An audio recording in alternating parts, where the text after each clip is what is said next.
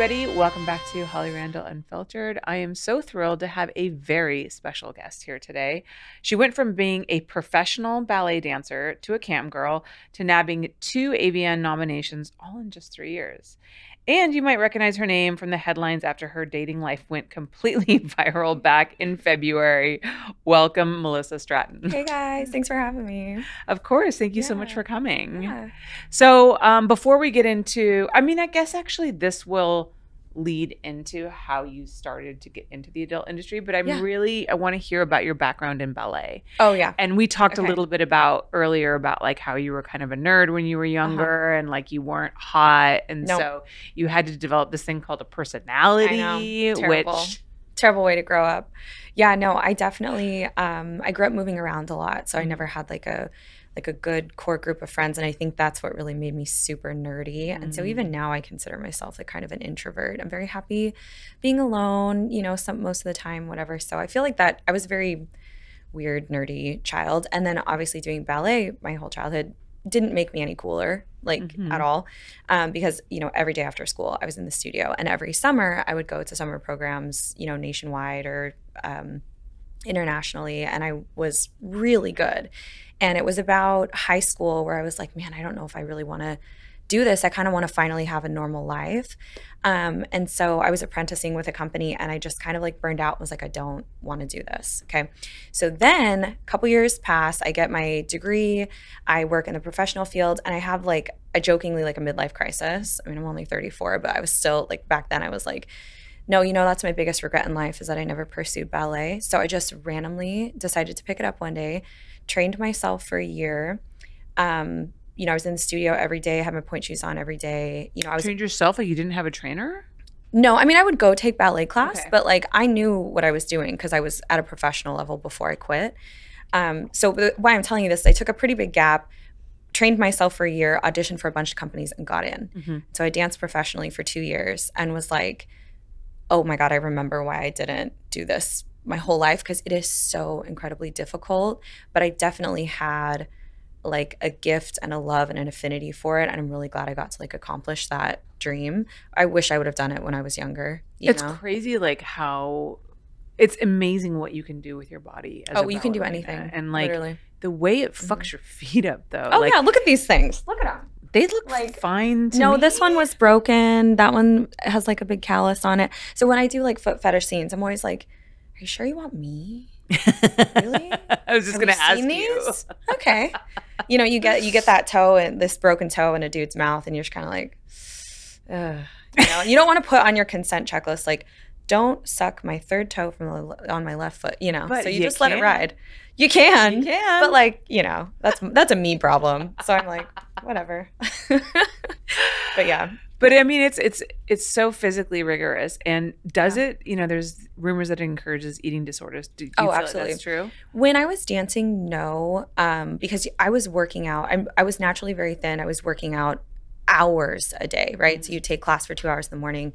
You'd go straight to rehearsal. You'd work out on your lunch break. If you didn't have rehearsal in the afternoon, you'd go for a run. You do conditioning. Like you're moving your body all day. So it's really easy to stay really slim. But on the off periods or when I quit and your body changes, that was the worst for me. Mm-hmm. So I'm about 20 pounds heavier right now than I was when I was dancing. Which is crazy because, like, you're not. You wouldn't recognize me. My face was like a little skeleton. It was like yeah. very, but I was still on the bigger side for a ballerina. You need to be 110 or under wow. for guys to be able to lift you. And I've always had like thicker legs. I think that's what my fans love about me. But my directors always hated it. They were like, you have to slim those thighs down. You you stand out. You're too bottom heavy, you know. And so that fucked with me a lot. So that's interesting because I always thought that it was like this mm-hmm. aesthetic, right? That you it is. It's about thin. your line, but it's also, I mean, mm-hmm. it's about the guys being able to lift you. Yes, so there is a function like, to it too. Yeah, you don't want to be the big girl. You don't want to be the one that when they pick you up, they're like, ugh. you know, that was always like, fuck, how am I gonna go? I can go have a green juice for lunch. You know, won't be eating this week. Thanks, thanks, Todd. you know, fucking Todd. so it's just like whatever.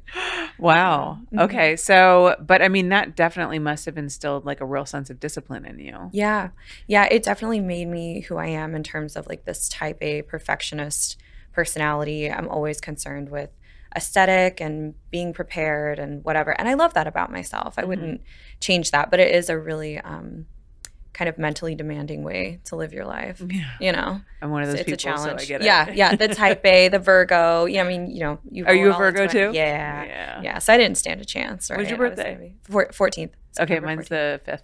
Oh, nice. Very Yeah. cool. Yeah. So, all right. That's why I like you. Yeah. You know, we're both like, Good. Well, I, but you're being very nice to me right now. So I'm Oh, hoping that after Fuck the podcast, Holly. is, okay, You thank know? you. I so much better. I know. I was telling Holly before we started, my love language is like sarcasm and kind of like a mean sense of humor. So if I'm too nice, be be scared because that's then I don't like you. So sorry. Yeah, she was being way too nice to me. I told her I wanted to be on my best behavior. I'm trying. We're, I know Yeah. we're actually like on a podcast and we're trying Yeah. to like put yeah. put Well- forth a certain part of ourselves, which Yeah. is maybe better forward facing. Well, Doesn't do mean feel- that it's not who you are. Yeah. Well, and I do feel the pressure now, especially with being in the media lately, to like show people who I really am because Mhm. people like to make assumptions. They like to say mean things. They like to draw conclusions that weren't there. And so I do feel that extra pressure to be like, no, no, I I am totally chill and normal. I'm not, you know. So yeah, I always try to put my best foot forward. Yeah. Well, we'll, we will get to that for sure. Yes. Yeah. Totally. Um, I do want to talk about um a little bit more about your beginnings. Oh yeah, yeah. So when you started, you didn't actually show your face, right? No, I didn't. I was So- so shy. Yeah. I was so shy. I we actually never talked about your leap. Your leap. oh my god. into into the, the adult industry. So into yeah. the adult industry. so, yeah, so I I had left ballet, was doing graphic design. COVID happens, and um, I was bored, and I was lonely, and I was curious, and I had seen Chaturbate, and that is still the only platform I've ever cammed on. I love them. I do a lot of work for them. Um, you know, with their corporate and their events and stuff. And I just, I was so grateful that I found them first because it's a very broad um, audience, a little bit of everything, right? It's kind of kind of wild, kind of wild west. I feel like when you're camming on Chaturbate specifically, because it is a freemium model, so Mhm. people don't have to pay to watch you if Mhm. you know if you don't set it up that way. So I was really nervous about that because I do come from a very conservative background. You know, I know the internet's a wild place. I didn't know what to expect. Okay, so I would sit there with just my lips and my tits, and that was it. And I would talk, and I would flash, and I would just like whatever. And that first night, I think I made $150, like just doing that. And for me, that was a lot of money. I thought that was so cool, Mhm. and I was hooked. And How I long think were I you did it- on for? Oh, maybe an hour. Okay, so that's not bad. One hundred fifty dollars in an hour isn't bad. Uh, it was amazing. Yeah. Yeah. So I I thought that was so cool, and so yeah, I was I hooked ever since. And I think about two months in, I started showing my face. I would do privates, and I would because people were like, "What's wrong with your face? right? What's wrong? Do you, are your eyes fucked up?" Yeah, and I was like, "Okay, look, I got this eye," and then I would like dip down to the screen and be like, "And then there's that eye." So like, you know, I'm I have like, both whatever. my eyes. Yeah, and so I would I started yeah, I started going private and stuff and the reaction I got was so positive and so wonderful and I was like, yeah, you know what, if I'm going to do this, I'm going to have to jump in with both feet. And Mm-hmm. so then I just started showing my face and the money was much better when I was Mm. showing my face and showing everything and using toys and you know whatever. It, Yeah. but it was a slow kind of progression for me Right. of like taking things at my pace, but Yeah.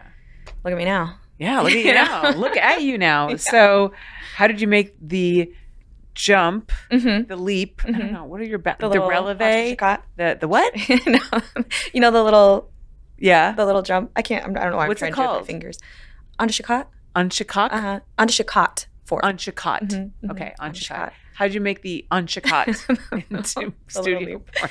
Um, so that was really funny. I had gone to an expo with Chaturbate and was approached by um, one of the producers at Brazzers, and they were like, Who? "You have a great Chris." Oh, And- okay. Okay. I thought maybe it was gonna be Kieran. Oh no! Kieran. Oh, it's always Kieran. It's always Kieran. He's No, always no. like pulling the girls in. right. Jesus, and he did. He did that too. I have. I did work with him soon Kieran's a after that. scout. No, but it, he was he was actually kind of shy and like very normal guy, and he was like, uh, you know, he kind of like talked to me sideways. Like, He's really sweet. he is so sweet. We're Yeah. good friends to this day, Yeah. you know. And I don't know if he likes when I tell this story, but I he came up to me and was like, you know, if you ever you got a great look, you know, if you ever wanted to do a scene, we'd love to work with you, figure it out, whatever. And I was like, okay, whatever, dude. Like, gross. Everybody was, you know, always trying to get something from me, you know, like Uh-huh. whatever. And I stood there and I saw I saw him walk back over to the Brazzers booth and and I was like, wait a second.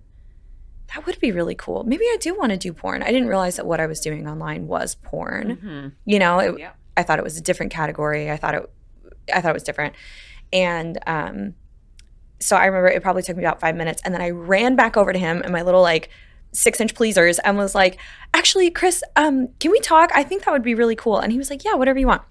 So we had a couple conference calls talking about what type of scene I would want. And then a couple weeks later, I was in Miami shooting three scenes for Brazzers. It was great. Wow. Yeah. And how did it go? What was your first scene like? It was amazing. I wanted it to be a threesome. I kind of wanted to like start off with a bang. I love men and women. I was like, let's just if we're gonna do it, let's do it. Yeah. Um, so I got to work with two amazing performers, and yeah, I mean they treated me like a princess too, right? Yeah. They they fly you out. They Brazzers is really good. but yeah. So I I think I got a really um amazing intro to the industry. Yeah. you know, Who did you? Who were? Who were the two people in your first scene? um, it was Oliver Flynn and Okay. Armani Black. So Okay. it was like this perfect little brunette mashup, you know, Yeah. and Oliver was like great, handled us and stuff. But that was also the scene of people always ask you, like, you know, what's your most embarrassing moment in porn? And it was my first scene um, because I have always had a birth control ring, the Annovera, which is like the Nuva ring, Mhm. and his dick got stuck in it. And he pulled it out, you know, and like your first scene, you're still not like comfortable with your body, and Yeah, you're just yeah, like, yeah. oh my god, like what, you know. And they're so, I mean, he pulled it off. I was like, "Is this yours?" Like, you know, whatever. And they were like, "Cut," you know. And I'm like, "I'm so sorry. I'm so I don't know. I don't. And so I like put on a little towel and like set it to the side. I was just just handed it to the dying. Yeah, I was like mortified. Yeah.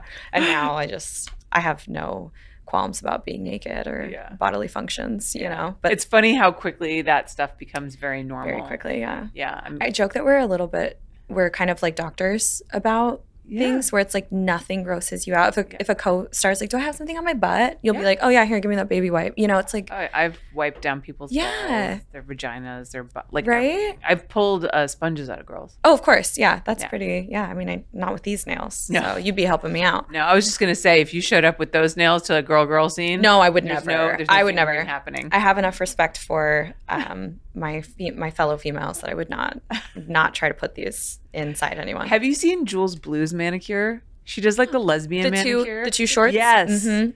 I Yeah. had never seen But that. how do you pick which hand? Because I, I get a little ambidextrous, so I'd have to just. Oh. And then if you got four short nails, why are they long? I think she's a one-handed. She's a right-hander?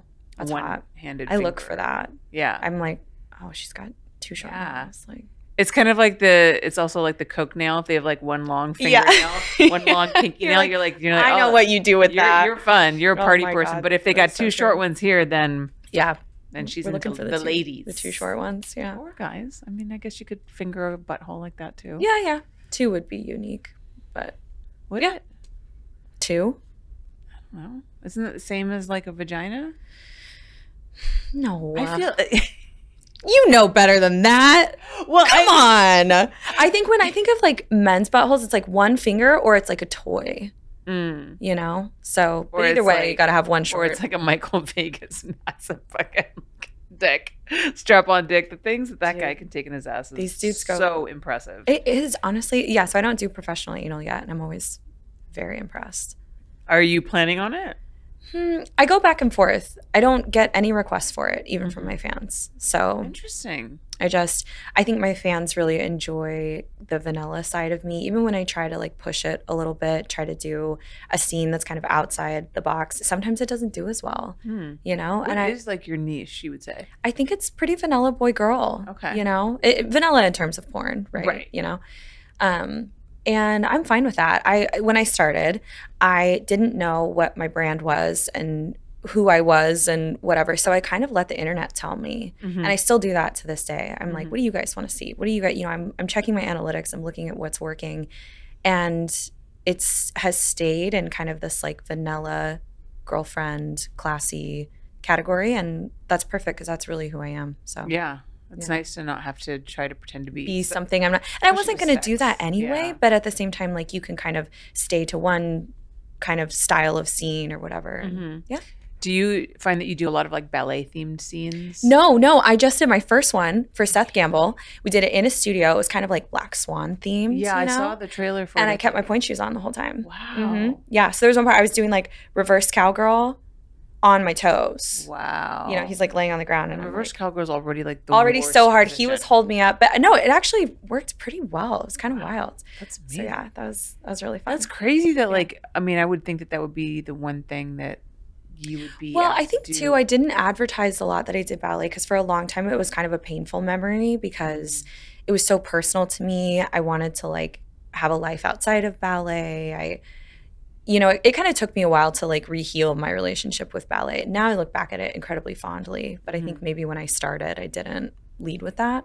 It's so interesting because I actually so I, a lot of people don't know this because I don't talk about it because I Mhm. also have like a weird relationship with it though I don't Yeah. think nearly as strongly as you but like for me I was an equestrian Mm. my whole life Mhm. and I rode horses and it was something Yeah. that was my mother's dream for me to go to the Olympics Yep. and I did three day eventing and I qualified for the junior Olympics Oh my God. and then I quit right end of high school before I went to college because I wanted a life outside of horses Mhm. horses was Mhm. my life Yeah, you had the time. exact same. I didn't really have a lot of friends like Mm-mm. you. I was Mm-mm. like very introverted. So I like still like we have three horses at our place. Mhm.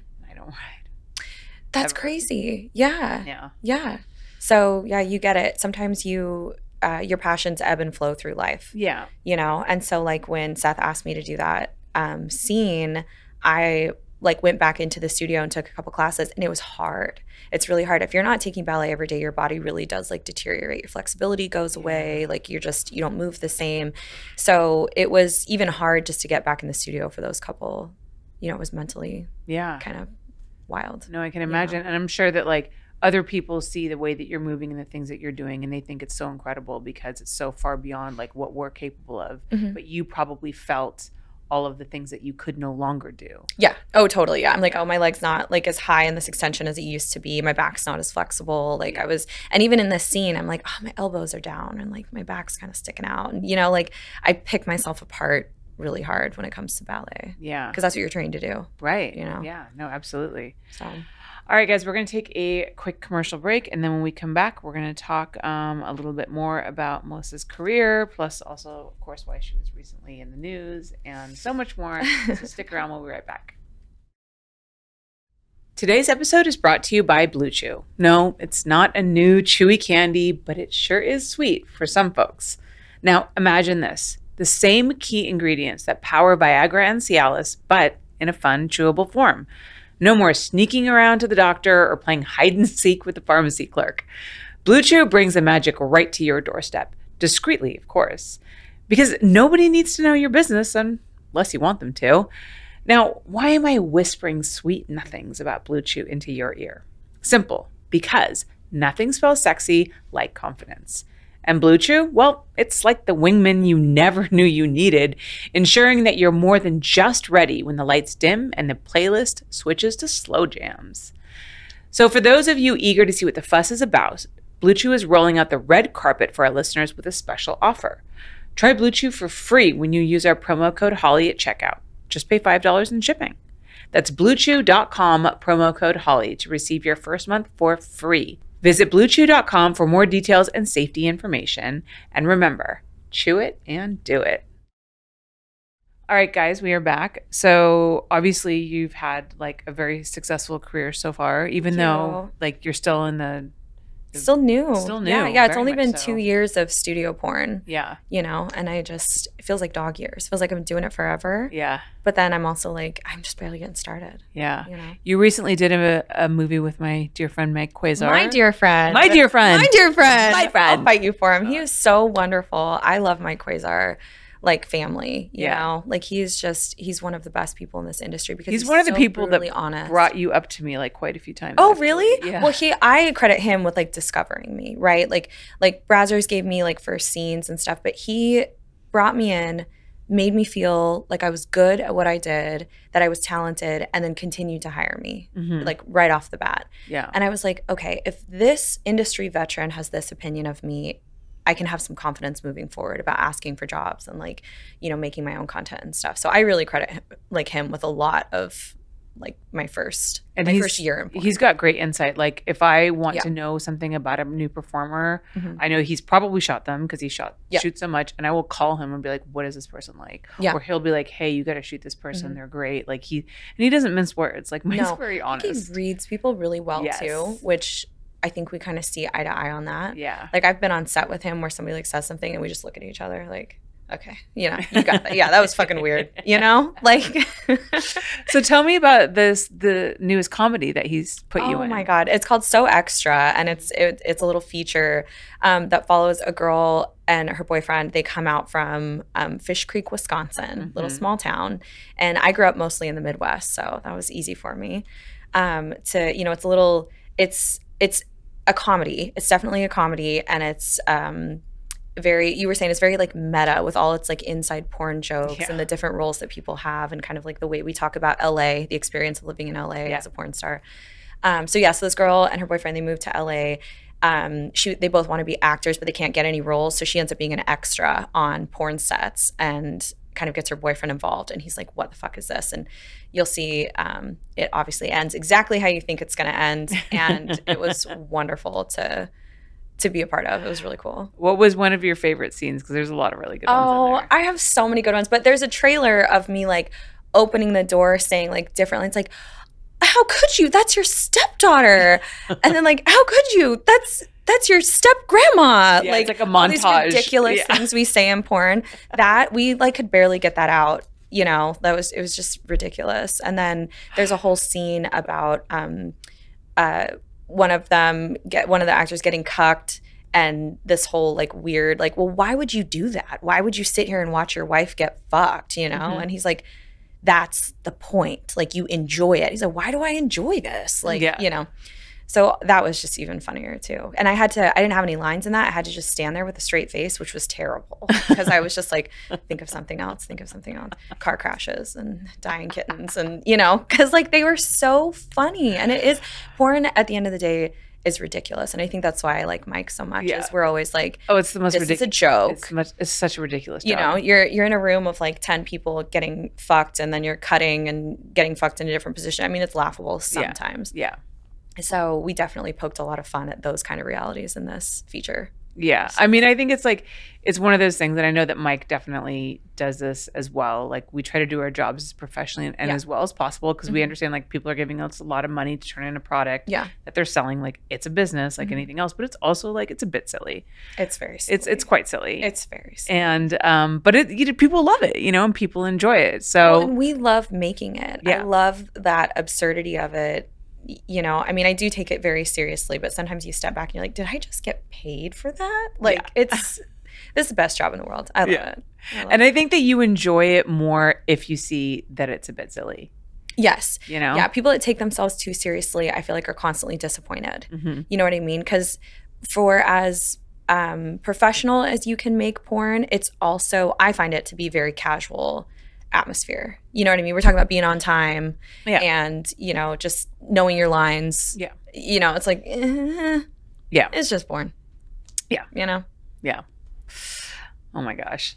um, so you also uh, were on stage at AVN this year. yes. Yeah. um, and you did some presenting. How was Mhm. that? that was I was so nervous for it the days leading up because you're on stage in front of all of your peers and people that don't know you Mm-hmm.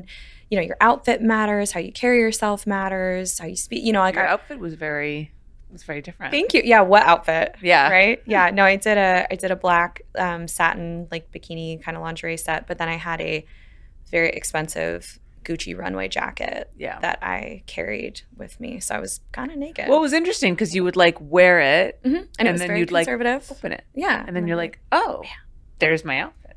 why not? Hey, know? it was it was different, and Yeah. it definitely like stood out. Yeah. Oh, thanks. Yeah, that's So- what I was going for. I just, you know, AVN is so cool because we're in the porn industry. You can literally do whatever you want. You can dress as sexy as you want. You can dress as crazy as you want. You can make a statement. You can just do what makes you feel comfortable. And Yeah. I was like, why wouldn't I? Yeah. You know? So, Being, I mean, I know that you haven't been in the industry like terribly long, but obviously you're a very smart person, organized person. thank you. You seem to understand how to do things in a way that makes sense for you. yeah. even though you're only three years in, what would you have done differently maybe at the beginning? Or do you have advice for new girls? Yeah, I think you're you learn so fast on the job because no one's telling you what to do. You are literally figuring it out on your own Mhm. for a lot of reasons. One, I think that everyone's journey is different, so there isn't a good template for how to do things. But some of the things I think I did really well was I started an LLC and a business bank account right away. I feel Mhm. like people don't realize that l- the logistics of making money as a contract employee is very complicated and you don't want to mess that up. Mhm. You know, especially if you were like me, I was making more money than I ever had right off the bat. Yeah. And you have to be very careful with that. Um, another one too, and it's a sticky area. We kind of talked about this is like, I knew that to get into the industry and do the kinds of shoots that I wanted to do right away, um, you know, I didn't want to do a lot of casting couch. I didn't want to do kind of low budget stuff. I, I needed an agent. I needed an agent to speak on my behalf and be like, listen, she's got her her shit together. She can perform. She can, you know, somebody to kind of vouch for me. So I liked being with an agency right off the bat. But you have to be so careful about who you choose. Mhm. And sometimes there's just no way of knowing. So at the end of the everybody day- seems so great. before Everybody seems so great. contract. and this is like across the board with like everything, Yeah. right? And like the more Yeah. business deals I've done um, over the years, like I'm pretty anal about contracts now, Mhm. and I have like a very expensive lawyer that looks at stuff, and I'm like. I nitpick about shit because I've been caught in a position Mm-hmm. so many times where I'm like, well, I don't need to worry about this. These people are so great. Look how nice they are. Look what they're promising me.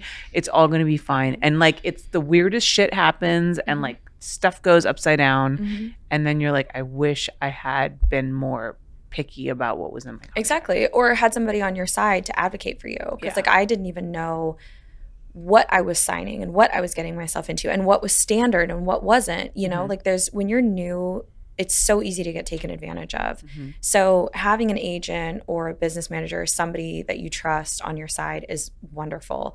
But finding that person is really difficult. So Yeah. at the end of the day, you are responsible for your future and your business and yourself. That's number one. Do not rely on anyone else. Use them to help you, but rely on yourself. Mhm. Um, Can't trust anybody. no, You literally can't. you literally And it's can't. sad, but it's and true. but it's, I think I look at it in like a good way. Is it's like this is on you to be Yeah. successful, right? Like it's not that I can't trust anyone, but don't don't rely on anyone's trust to get ahead yeah. you know, promises of like, oh, well, if you do this, we'll give you this scene, like that kind of stuff. You know, I remember one time, and this is probably why you should have an agent, is um, I showed up on set. I had only only ever shot girl girl for this company, and then I go and shoot boy girl, and I noticed they had like crossed out my rate and like filled in some of the paperwork for me. And I mentioned to the director, like, do you know my rate for this scene? He was like, oh, they handle that at corporate. They'll be fine, whatever. I get my check. It's three hundred dollars short, and I was like, what is this? And they were like, oh, that's the rate we pay for boy girl. And I Mhm. was like, well, that's not my rate. Why? yeah. Like, I need, and they were like, well, we would have never approved that rate. Yeah. And I was like, okay, well, I will not be working for you anymore. Yeah. And that's You something you definitely want to sort out beforehand because it's like you don't want to get to Well, I tried kind of. I start of, tried. like- you know, I was like, what is this? And like, right. and I talked to them like, you know, this is incorrect, like whatever. And people in the industry have had different opinions on that. Like, you should have fought harder. Well, there's a lot going on in my life at the time. $300 wasn't worth the fight. yeah. You know what I mean? Yeah. Yeah. but I feel like that happens. That type of situation, like the money situation, has happened more to me on set than like anything else. Mm. You know, in terms of like bad experiences and whatever. So was this before you had an agent, or you did not have an agent at the time that this happened? I that was when I was in between agents. Yeah. Right. So, which is also very confusing, right? They Yeah. don't know where to send the paperwork. They don't know if they should be talking to you. They don't, you know. And so it's just, yeah, you you always have to be on top of it. Yeah, it's always learn lessons the good to way. get something in writing. A lot of times, I will like Mhm. if I have a meeting with somebody or conversation with someone, I'll send them a follow up email and I'll be like, okay, so this is what was discussed. This is the rate. This is etc. Like, I love to over communicate, oh, me too. you know? Yeah. And even if I even if somebody doesn't get back to me, I'll just send it again or you know, Yeah. it's like you can't take any of that personal. Yeah. Um, but it's interesting how there's a lot of ego at play. I feel like some people are either like young or don't come from a professional background, so a lot of things get lost in translation, Totally. you know, but you just have to keep doing what you do Yeah. in order to make your business successful. Yeah. I think what a lot of people don't realize about adult stars is that you're all small independent businesses and you're all essentially entrepreneurs. Yeah. And I think it surprises people that most porn stars don't have business agent. I mean, business managers. No. A lot of like celebrities do. Right. So they deal with all of that. Right. But like, Yeah, you'll have your business manager, your agent, your assistant, your, Your finance, your lawyer, Yeah. your PR. it's a yeah, whole we got nothing. people- It's nothing. you know. I mean, I do I do have assistants now, but yeah, it was Yeah. rough, No, it's it's a lot. It's a lot, and Mhm. um, I I think that, that all the time for myself. Often, I'm like, God, I wish I had a manager because Yeah. it's just like it's a lot for me, It and I have a lot going on. But also, like, I don't make enough money to like pay a manager. That's the thing. So People are I'm like, "Oh, porn, you must be making so much," and like all of a sudden, it's like, I mean, yes and no. From Yeah. what I was making and whatever, I'm incredibly happy with what I have now. yeah, But in the grand scheme of things, it's not anything like celebrity money. yeah. It's not anything like professional actor money. But- Yeah. So yeah, you can't afford a whole team of people. and the problem is, is like you're generally not getting residuals on stuff, No, never. right? So you're not making a movie and you're getting like money down the road on anything. like, sure, you may be making a lot of money on your OnlyFans, but you have to continue to produce Mhm. content Mhm. for that. So it's like it's that's never, hardly residual. Yeah. No, It's like, exactly. that's It's never- locking in too. There's no like passive. In- there's almost like Not no really. passive income coming in. not really. That's really hard to Mhm. establish. yeah, Yeah. yeah. But it's. I mean, I like the challenges of this industry. Right. You know. Right. So, um, the internet freaked out Yeah. Super Bowl weekend when news broke that you were dating Sean Evans, who hosts Hot Ones, something Yeah. I've literally never watched.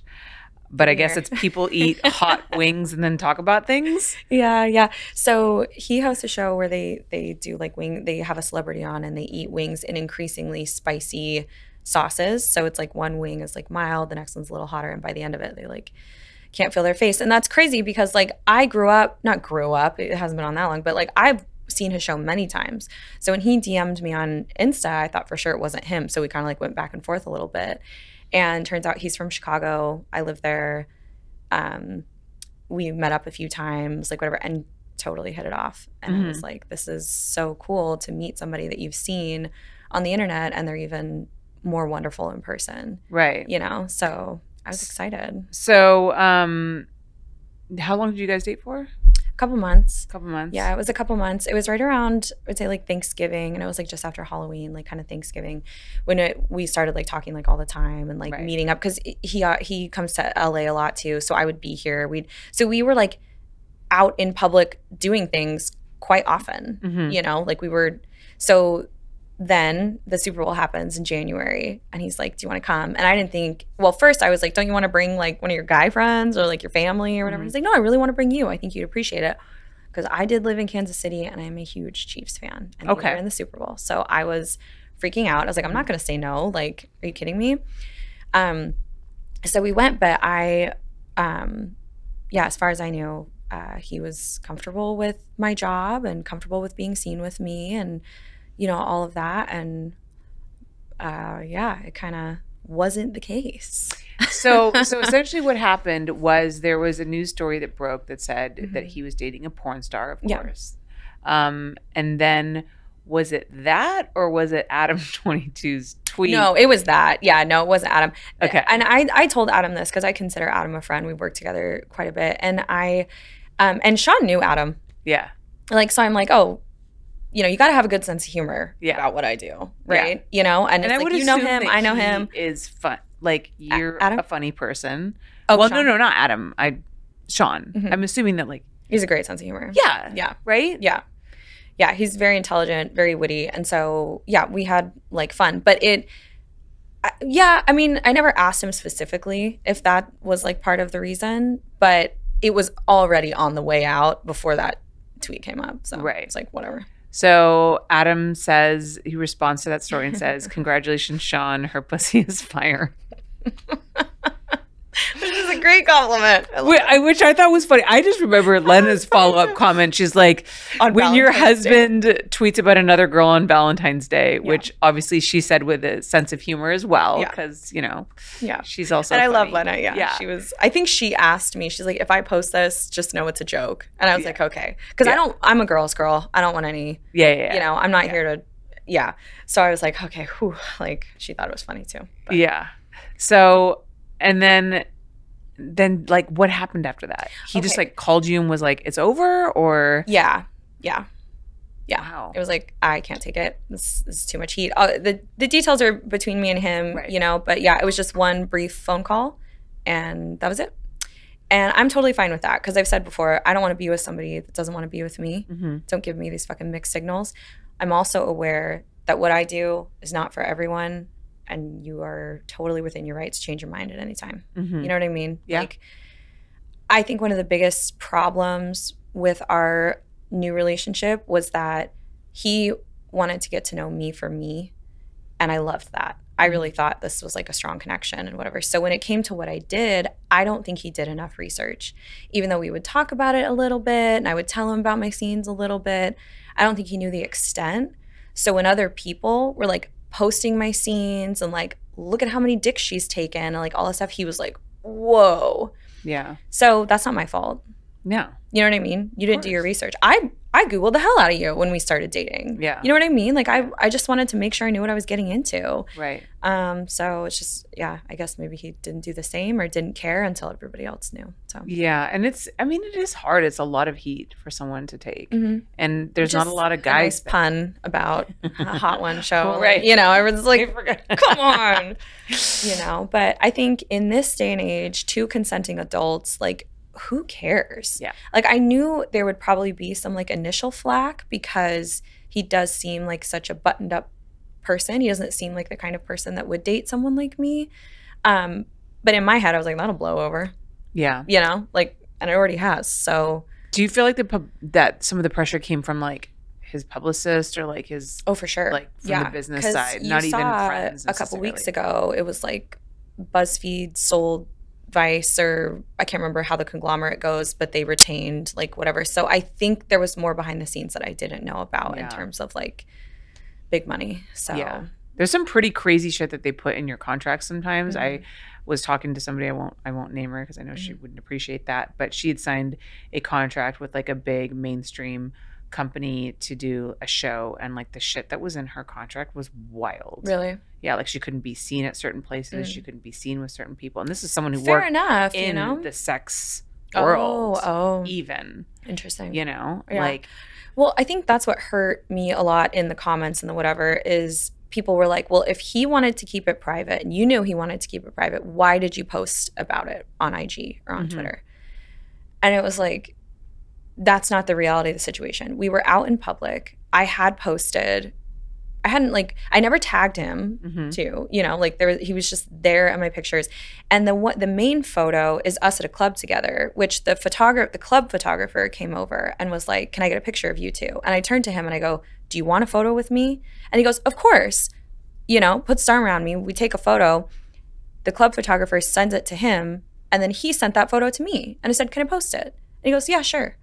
So like, what did I do wrong? yeah. you know and people are like oh you're just that typical girl trying to like get some clout whatever and i go well that was the person i was dating and i was proud of him and i thought he was proud of me Yeah. fucking shoot me you know And it sucks too that you even have to ask him those questions. but i did that because i was sensitive towards his career Right. that he interacted But with celebrities and stuff it does that suck you are put in that position. It does, but like I Not made, I made him. the bed of I'm being right. I know the stigma that comes Yeah, with yeah. it, and it's never gonna go away. Right. So that that didn't even bother me. But I I agree. Yeah, does it suck? Sure, but it's my reality. So Right. whatever. I just mean it on like a bigger level, not him. Yeah. I'm just talking about society in general. Oh yeah, and like the stigma all that, comes Yeah. about with that in Yeah. general. I mean, sex work in general. even my husband, who I've been with for over seven years, Mhm. um, who's not a celebrity, Mhm. but he works in law, in like Mhm. very prestigious like firm and Yeah. stuff. Like I can't say his name.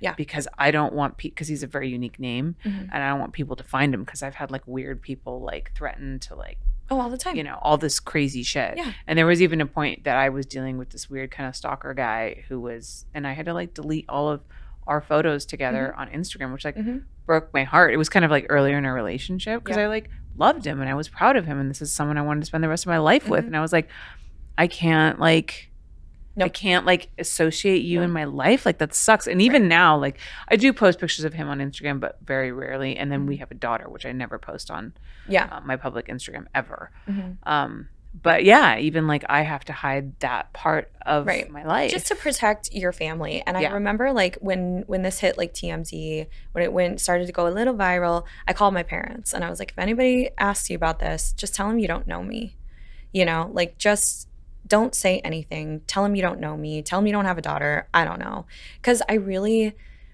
i don't want my family to feel any type of brunt for the choices that i've made yeah. I just don't think that's fair. Yeah. Um, and so I think that's the hard part too when people were like digging up my personal details and my background and like sending it to my family and, and DMing it to my friends. And, you know, and I'm just like, for what? For what? Like, you Yeah. think that's going to ruin my life? I already know the choice that I've made and what I'm doing, Yeah. you know, and my parents know. Yeah. Like, what are you trying to do? Out me? Like, yeah. I'm a grown woman. Yeah. like, okay, you know. So it's just, yeah. The being Do you have a good relationship with your family? I do. Yeah, I do. They they started off. I told them that I did porn a year into doing porn because I Mhm. wanted to make sure this is what I wanted to do, Right. and I selfishly wanted to be a little bit successful Mhm. before I told them anything. So if I had got a nomination or I won something, I was like, that's when I'll tell them because they can be proud of me in some Mhm. weird way. And Well, I also- did. I think that they can see that it was a path that made sense that you chose, right? Because it's leading you somewhere. Yeah, yeah, yeah. Yeah, I had goals. I was making money. I was taking care of myself, you know. So I waited a little bit. I told them their initial reaction was, "Well, we're proud of you no matter what you do." And I was like, oh, "I know you don't mean that," you know. So I kind of like braced myself for the storm. And my Mhm. mom called me back the next day in tears, like, "How could you do this?" Like, what? And I go, "Stop googling, okay? Yeah. Don't do that. That's really icky. Don't want Yeah. you to see any of that. I told you not to."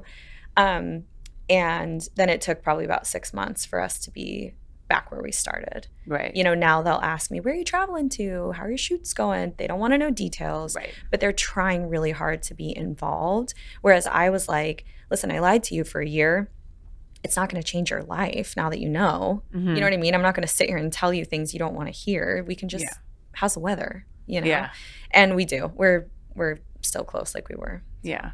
Yeah. It's fine. Can you imagine? Oh my God, porn stars' parents still love them. what a weird concept. I mean, uh, you know, I've interviewed a lot of people who, unfortunately, sadly, like their relationship with their parents is split because of that, but it was usually pretty strained before that.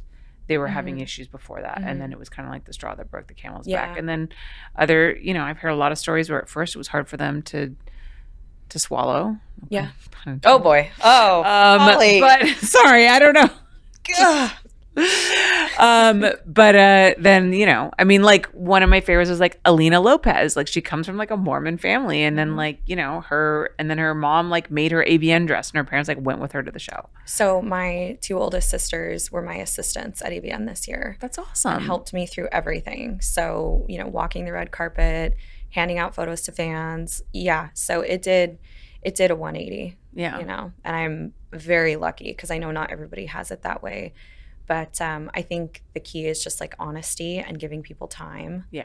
You know, I did not expect them to accept it in any way, shape, or form. And so I was happy with any type of progress that we made, you know. right right and also i think like it takes a while for people because there's so many misconceptions about the adult Mhm. industry you know that every woman is trafficked and that you're always in unsafe situations and you have no control Mhm. over like how the scene goes and Mhm. obviously those situations occur Mhm. but you know especially For if, me, that's rare Right. if it's happened at all, Right. you know? And so I think that I don't plan, I'm not an ambassador for the industry at all, but I do like to share my story because it's been a very wonderful experience Mhm. across the board. yeah You know what I mean? yeah So, well i think a lot of that has to do with making the right decisions with the right people brazzers Yeah. is a great company to start Mhm. with they really take care of their girls they you started standard. yeah, Yeah. you started off slow with yes. You know camming where Mhm. you had control over your content and what you could Yeah. do and you set boundaries and Mhm. you and you stuck to them so there's there's a right and a wrong way to get into the adult industry i think Definitely. and it also depends on like how you really at your core feel about it Yeah. you know if it's something that you truly like can become and are comfortable with Mhm. then you're going to have a great experience if it's something that like you really like actually don't want to do and and Yeah. you're doing it for the wrong reasons and that's going to affect you No, 100%. I started out only shooting like two scenes a month, Yeah. which is nothing. Yeah. You know, and then I go home and cam and like whatever. And I just remember being like, I love being on set. I want to do this more. So I was Mhm. making more frequent trips to LA. More people were interested in me. And now it's kind of switched where I love being on set more than I love doing anything else. mm-hmm. But I think if I hadn't taken it slow like that, Mhm. I don't know if it would have been the same. yeah Yeah. yeah so um last question about this whole uh Yeah, yeah, yeah. debacle Yeah. with sean um I, I can like laugh about it now Yeah. because like it's funny to me. You know, I'm not. at you know there were there was a period of time where I was a little heartbroken and then I was just straight afraid. Like I was just scared of the amount of attention I was getting and how horrible people were being. Yeah. And I put out you know, I felt like I had no control over the narrative, even though TMZ asked me for comments and stuff. And I was just like, I'm just going to stay out of it, you Mhm. know? Like, so I didn't get a chance to like tell my side of the story or have any kind of whatever. And they wanted to paint me as like a victim. And I was like, it's kind of a mutual decision, you know, like whatever. But um, I had posted a Insta reel of me and Johnny Sins. And I was like, don't worry, guys, I'm fine. I found a better bald man and people fucking hated that. I was such a bitch for saying that. You know, you just proved what a hoe you were or whatever. And I was like, number one, I'm allowed to rebound. Okay. Mhm. And number two, everyone fucks Johnny Sins. yeah. If you're lucky. Yeah. Yeah. and I was just, yeah. And it was an old reel anyway. And, you know, but I just, yeah, it's like when other people are allowed to turn the media, but when you do it, Yeah. you're like, what a, what a horror. Yeah. You know? And I'm like, oh, you know, you can come up with something new to call me. Yeah. I have a solution for you. Oh, Don't read the comments. dude. I need to hear that 15 times a day because I I, read everything. Oh I no. read No, no, no, no, everything. Stop, stop, stop, I, it's stop. very bad. It's very bad. But I think part of it is that marketing brain that I've always had Yeah. where I want to have my finger on the pulse of what's happening. Mhm. What type of message do I need to be sending out? What's the common denominator here? Um, and yeah, it, it, yeah, it wasn't a good time. So it went from like heartbreak the whole situation it was like heartbreak to like straight up fear. Like my hair was falling out. I was crying every day because i couldn't handle. And then a- and i got a lot of flack from inside the industry too. People thought they knew my personal life they knew me they had this whole opinion. I had people being like you're not a good representative for the industry. It's just another example about how you know porn stars can't don't deserve real love and whatever. Like how dare you make us look like this thank you. I was like what? Uh, what? Like there's a lot of different ways you can go with that but that was a common one. Um, and then everybody thought it was a publicity stunt which is fine. I get it. Mhm. it seemed like one. Mhm. it's fine. I could have probably done a better one. Yeah. right? Yeah. like that's what i did. Okay. Yeah. so i don't know. So yeah the inside the industry hate was kind of tough too. And then i think after a few weeks i was just like all right it's died down there's no more new information no one cares anymore and i was able to like laugh about it Yeah. you know because you you can you can laugh about your exes Yeah. because it's fucking funny Do you think that you would ever date a celebrity again, or would this give you pause? i would i would because i feel like i appreciate people that are busy and driven and have their own shit going on Mhm. i'm too independent to be like Mhm. travel around with someone or like I don't know. But I would do it totally different. If they wanted it to be a media circus, I'm along for the ride. Mhm. If they don't, then it is completely silent. Don't take me to events. I will sign an NDA. Like just give me the path and we'll take it. Really? You know what I mean? Yeah, absolutely because I I like people, I like relationships and I don't like to play games. I'm Yeah. Too, too old for that. Yeah. You know what I mean? I don't have Yeah. the energy for that. So I think that's part of it too is if you want it to be private, tell me that and we'll just do that, Yeah. you know?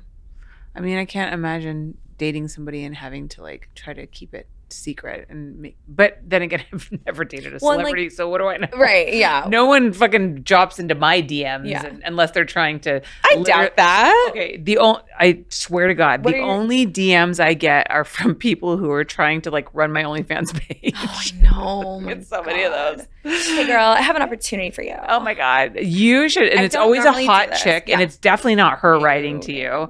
Hey, you should really hook up with my agent. They could really like grow I your OnlyFans still so taking much. people on the roster, and you're just like, exactly what they're all like. I just delete them, just delete, delete, delete, delete. yeah, Um, but yeah, no, I've never had a, I've never had a celebrity slide into my DMs ever. yeah. I, I attract um, football players and YouTubers, Hmm. and that's it. Hmm. And I love that. I love that little niche of little weirdos. Yeah, They're fucking great. yeah, you know but i just um i i'm not interested in like just going to dinner and like meeting up with people you know i'm not i'm not ready for that yet number one and number two like it's so much of a hassle to Yeah. like be in the public eye or have them be in the public eye and try to date If you could choose like the Mhm. perfect man, like what is your ideal partner? i have not thought about that Hmm. wow i need i need to think about i'm going to talk to my therapist about that one thanks um no i think i like people that are highly intelligent, little on the nerdy side. I like to be the hot one in the relationship. Mm, I get it. So I don't give a shit what you I want to look be the star. I want to be the star. Yeah, No, I don't like to date guys that are I'm like not- hotter than me. No, no. I want you to wake up and be like, wow, how am I with you every single day? Like, because I'm so insecure and vain that I need that, you know? At least I know that about myself. Self awareness is like I, I think one of the greatest traits that Yeah. you can have, and Yeah. so many people don't have It's it. It's just, yeah, it's just not going to change. So, but I think that's a plus for, you know, all the kind of average dudes out there. I'm your girl. Like, hey, average dudes, you have a chance with Melissa. please DM me, please. yeah, and I like I like guys on the shorter side too. Five ten is kind of my. Really? Mhm. I want to look you in the eyes. I don't want to Yeah. Yeah, yeah, yeah. me, you know. What about what about penis size? Is that important? Um, you know, it used to not be, but I think the older I get, the more I know my body, and I just like medium, Mm. just medium. Okay, now what's medium? Because people want to know Yeah. specifics. Probably porn medium, probably like seven inches. Okay. six seven, Mhm. and like a decent girth. Okay. Not anything crazy. Mm-hmm. But um, yeah, smaller than that, and it's like okay, we got to find the right position. Mm-hmm. Can't just do any one to like Mhm. hit that spot. And then the super big, I mean, that's clocking in. Like I don't, I didn't want to come to work today. You know what I mean? yeah. Jesus Christ. So yeah, Yeah. So like your- medium. Mhm. But if you met the right guy who was a little bit on the smaller or bigger side, oh yeah, that sounds it. great. hmm Yeah, Okay. hundred percent. Because at the end of the day, it, like chemistry is so important, and I think the more I do porn, the more I find non-sexual things sexual. So it's the Mm. way you hold my hand, it's the way you touch my neck. I love when guys play with my hair. Like little things like that are a huge turn on. Like pussy wet, and men don't. They kind of take that for granted. You know, Mhm. they're like, okay, I gotta eat her out. I gotta do that, and it's like you don't. You don't have to do that right now. Like Mhm. I like more simple, good kissers. Yeah. You know, Yeah. like yeah. I think the foreplay gets lost a lot. I had Mm-hmm. um sexologist uh Caitlin V on the other day Yeah. and we were talking about like the differences between men and women and arousal and levels of arousal and Mhm. time of arousal. Mhm. And I was like, why do you think that nature has made it so that it takes like t- women like Oh, on average 20 minutes to get Yeah. aroused and men like instantly. Yeah. And um now I'm gonna forget exactly what she said. Go back and watch my episode with Yeah, Caitlin, we'll which will that come out before this one to get the exact answer. But it was Yeah. something along the lines of, um, I don't want to say men are disposable, but it was something Interesting. similar to that because like one man can impregnate a lot of women, Yeah. but women can only bear one child at Yeah. a time. So I think it's like Quality, nature's quantity. yeah, it's Yeah. like nature's selection Mhm. process. So if you can get a woman to that that space, Mhm. then you're a better partner and a better choice for her Ah, to there it is. Yeah. have the child. Mhm. Um, because women are more likely to get pregnant if they orgasm. Yes. Yeah. So it's like it's that whole kind of thing. It's like a it's like an ingrained selection process in women. I Oh, that's guess. so cool. Yeah. Yeah. Yeah. Because I definitely, as I've gotten older too, I find myself being more, is it sapiosexual? Sapiosexual? Where it's like, sapiosexual when you're more attracted to people who are intelligent, like their Yes. minds and stuff yeah. like that. so if you laugh at my jokes and you're looking me in the eye, like, yeah. I'm done. I'm done for. Yeah. You know, but if you're doing that, hey baby, I'm gonna give you the best, you know, Mhm. four hours of sex of your life. I'm like, oh God, please. Oh, no, get out of here. You know, that's not the foreplay I Yeah. need. So. And I also wonder too that if it's something along the lines of if a man is willing to spend that amount of time to get you to that place, Yeah. then he's gonna stick around Yeah. after the baby and be there to help oh raise and protect it. You know, yeah. like there's so many different interesting ways to look at that. So Yeah. Yeah. So that's me. Maybe I'm, maybe my body's like time to have a baby.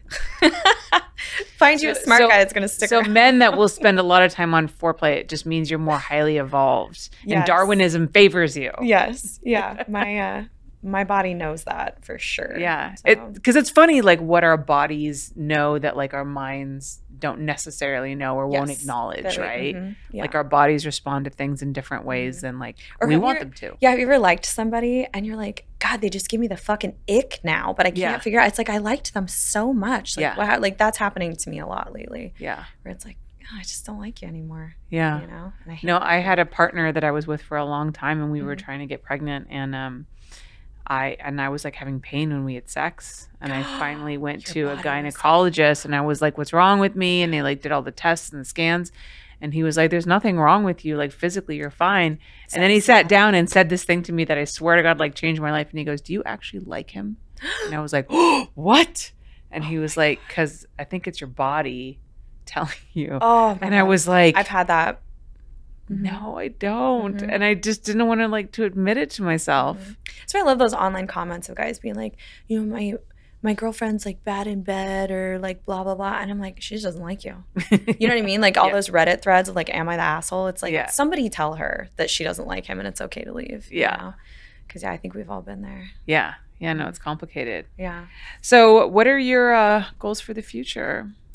I want to keep doing what I'm doing. I Mhm. want to keep doing good work. I want to do more features. I just want to shoot more. That's always my goal is to like Mhm. shoot more. And I want to I want to make better content. I feel like I started off doing like really basic boy girl. I want to do things that are a little more beautiful, a little more sexy, a little more pushing the edge. So I'm trying to be really selective with who I work with and how I get things done. Um, but I also uh, this year I inked a deal with Hustler to do three live shows at their club. So I finally got to live out my little baby stripper dreams. That was on my bucket list. Oh wow! So yeah, so this weekend I have the last two shows I'm super excited. So that was like a big thing for me this year. Um, So this Yeah. coming weekend, Easter weekend. yeah, like uh, tomorrow. Oh wow! Saturday. So for those of you who are Patreon members, and boy, are you lucky and smart to be Yep. Patreon members, you are watching this live, Yeah. and we are talking about Easter weekend. So um, the last weekend in March. So you're Yeah. getting the, um, you know, You're getting the you're getting the the the skinny. tea. Yeah. Yeah. Yeah, so if you're in Vegas or Oklahoma City, so Vegas on Friday and Oklahoma City on Saturday, you can come meet me live. Which I mean, the only other times you can meet me live are at conventions, which Mm-hmm. are hectic and crazy, and you know this is a little different atmosphere. And I have I've done one show already, and it was like amazing.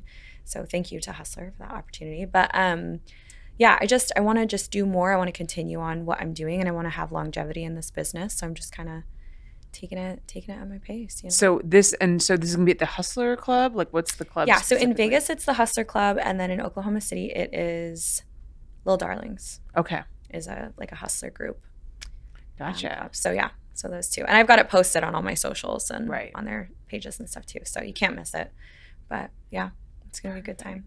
Yeah. All right. Well, we're going to do a little uh, bonus Q and A for Patreon members as well Oh, nice. uh, after this. So another great reason to join my Patreon. Yeah. But in the meantime, Melissa, can you tell everybody where they can find you online? Oh yeah, that's super easy. MelissaStratton.com. All my links are there. Wow, that was fast. Mm-hmm. All right. You can also go to hollylinks.com and find all of my links there or at Holly Randall on Instagram and on Twitter or X. And then, of course, as I previously mentioned, um, join my Patreon for access to live streams like this, bonus Q&As, and so much other content. Patreon.com slash Holly Randall Unfiltered. Thank you guys so much for watching, and I'll see you next week. Bye.